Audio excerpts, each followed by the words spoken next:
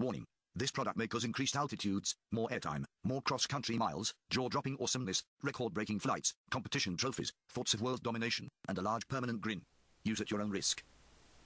This is the pre-flight briefing for Practical Exercise 13, Thermal Search Pattern 2.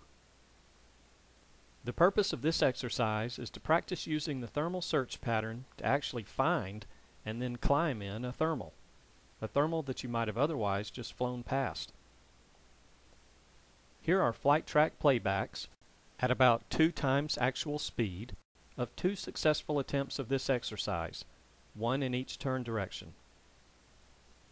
You'll be guided on a heading that takes you near a thermal, but hopefully not directly enough into it to make the Vario beep. As you fly this heading, you'll listen closely to the Vario, listening for the sound of flying past a thermal through its outer edge. It will be up to you to decide when to start the search pattern based on what you hear from the Vario. And it will be up to you to fly the search pattern, to find the thermal using the search pattern, and to climb in the thermal. If the Vario beeps before starting a search pattern, or if you fly past the thermal without hearing it, then you'll exit the flight and start over because this will mean that you weren't quite on the initial flight path intended for the exercise. Once you start a search pattern, don't abandon it before completing it, unless the Vario beeps, in which case you'll start circling and using the easiest as 1, 2, 3 method, climbing till a given time or until you reach a given altitude. So far, you've practiced getting centered in and staying in a thermal only after flying directly into it. Now you'll practice getting centered in and staying in a thermal after just flying near it. This isn't the only first in this exercise. This is also the first time that you'll find and climb in a thermal without using thermal helpers. In fact, if you've met all of this exercise's prerequisites, then you've probably used thermal helpers for the last time in this course.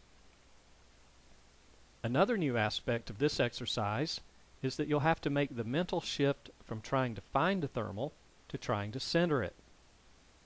You'll have to mentally shift, quickly and at the right moment, from listening closely and executing a good thermal search pattern to staying in the thermal after finding it. The practical exercise procedure handout will give you detailed instructions except that it's assumed that you know how to fly the search pattern and how to use the easiest 123 thermaling method.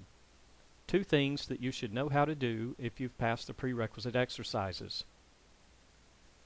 To pass this exercise, you must fly a good search pattern, must find the thermal using the search pattern, and must climb to a certain altitude in the thermal by a certain time, strictly using the easy as 1, 2, 3 method. You must successfully complete this exercise once for each turn direction. This concludes the pre-flight briefing for practical exercise 13, Thermal Search Pattern 2. Relax, have fun, and good luck.